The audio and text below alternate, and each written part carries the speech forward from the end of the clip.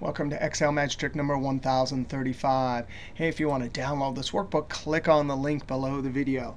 Oh, wow. You know we have an amazing online Excel team, not only at YouTube, but in the various forums, the various websites. It's just amazing uh, what Excel resources are available online. Now, at YouTube, the guy who makes the most high quality videos you will ever see is Andreas. Now, all of his videos are in German, but I, I can watch them and I learn tons of cool stuff. For example, one of his latest videos, Excel 388, he talks about calculating the median with a condition.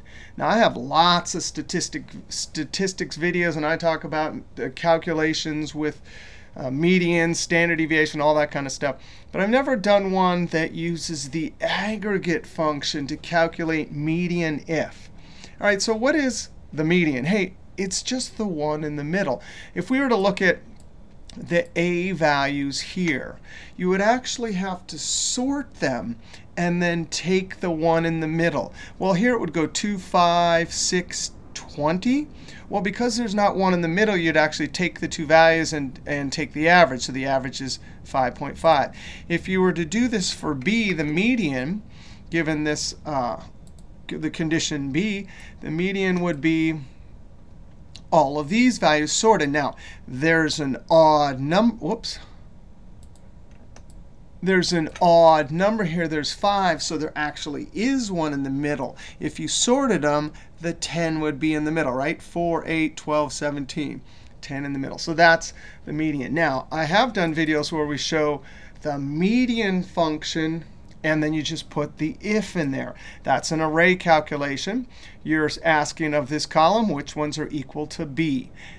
Then, if you get any trues, you dump the numbers into the median.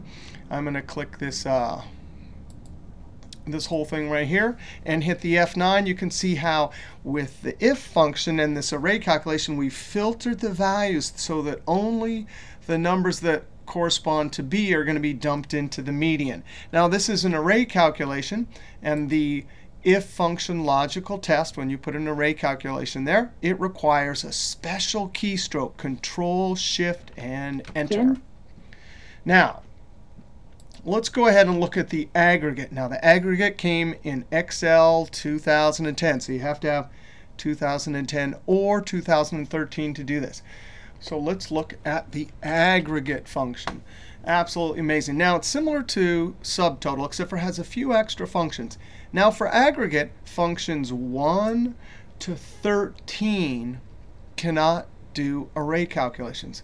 So you got to be kidding me. They have median here, but we can't use it because we have a conditional array calculation. However, functions 14 to 19 can handle array calculations. Now, what we're going to do is any one of the 16 to 19 for percentile or quartile, they all can calculate the median. Now, the median just means halfway or 50%. So we can use percentile. Now, there's four different ones. There's percentile, inclusive, percentile, exclusive, quartile, inclusive, and quartile, exclusive. If you want to see the difference between all those functions, I have a, a, detailed statistical uh, comparison of all these. But you don't need to really do that because percentile just says, hey, if we say percentile 50%, it'll give us the value in the middle. So I'm going to select function 16, comma. Our array calculation is going to have some errors. So from options, we're going to select 6. Now, this is the magic argument right here. This is the one that allows us to make an array calculation without that special keystroke, Control Shift Enter. So what do we want to do? We're going to highlight all of the numbers. Now, we don't want all of them. We want to, just like we saw with the if, filter them out. So we're going to do this with division. Now, we don't want to use multiplying because that'll give us zeros. And we, we don't want zeros to interfere with our calculation. So we're going to divide by our condition. Here's the column. Are any of you equal to our criteria? All right, so what is this going to do? The if gave us numbers and falses, and the falses filtered out the numbers we didn't want. Here, because we're dividing by, um, these will give us trues and falses. And when we're doing division, F9 to evaluate. Division by 0 will give us divide by 0. Division by true will be like dividing by 1, so it gives us the number. The divide by 0 errors are going to filter out the numbers that don't match our criteria. That 6 will tell aggregate to avoid the divide by 0. Now I'm going to control Z. And then comma, the k, we just put 0.5 for 50%. And that is beautiful. Now, for aggregate, again, we, we used 16 percentile inclusive. So control enter, we get 10. You could use, let's see, down here is the percentile exclusive with 0.5.